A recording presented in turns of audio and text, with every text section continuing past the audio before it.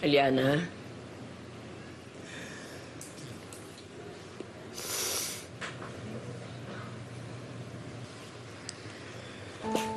Wala, hindi po ako makatulog dahil naalala ko po yung nangyari sa simbahan eh.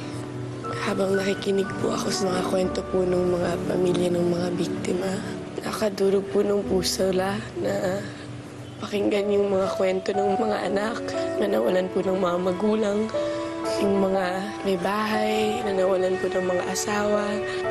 Pero la, kahit po ganun, para po kaming humuhugot ng lakas sa isa't isa. Aliana, naniniwala ako sa sama-samang panalangin ng lahat. Makakamit ni Ricky Boy at lahat ng mga naging biktima ang katarungan sa pagkamatay nila. Kaya maraming salamat po ha. Dahil po sa ganitong mga pagkakataon nangungulila po ako kay Ricky Boy at wala po dito si Canto. Kayo po yung nagiging sandalan ko. Ariana, wala man dito si Cardo. Alam ko, ginagawa niya ang lahat para makamit ni Ricky Boy at ng lahat ng mga naging biktima ang katarungan ng kanilang pagkamatay.